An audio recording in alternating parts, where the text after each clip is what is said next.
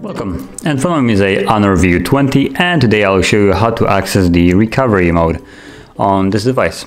So we'll start off by actually powering up the phone.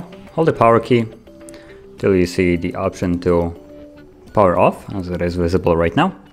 Tap on it and tap on it again to confirm it.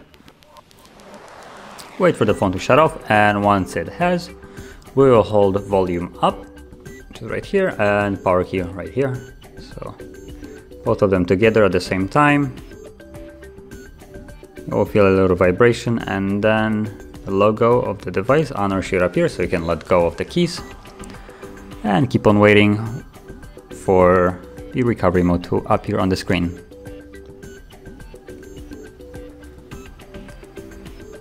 Okay, and as you can see now we're in recovery mode where you can actually re well, reboot the device, do a factory reset or just wipe cache partition. But because we're just showing up the recovery mode, you can tap on any of these options. Uh, I'm gonna just tap on reboot just to leave this mode and show you how to leave it.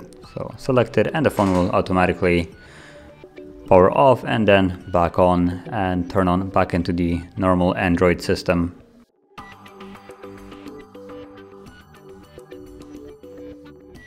And as you can see, now we're back in normal Android.